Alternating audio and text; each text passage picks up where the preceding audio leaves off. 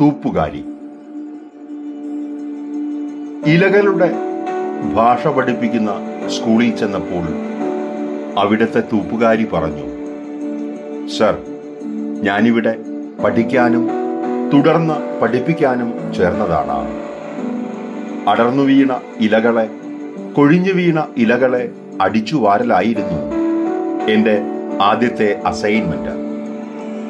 ഇലകളിൽ ഗവേഷണം കഴിഞ്ഞാൽ ഇലകളുടെ അമ്മ വീട്ടിലേക്ക്.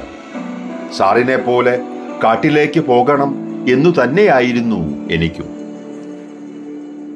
ആരുമില്ലാത്ത കരിയിലകളുടെ സങ്കടം എന്നെ തൂപ്പുകാരിയാക്കിയെന്ന് പറഞ്ഞാൽ മതിയല്ലോ. ഞാനും കാട്ടിലേക്കുള്ള വഴി മറന്നു. തൂപ്പുകാരി. പുസ്തകം രണ്ട് ബർണറുകൾ.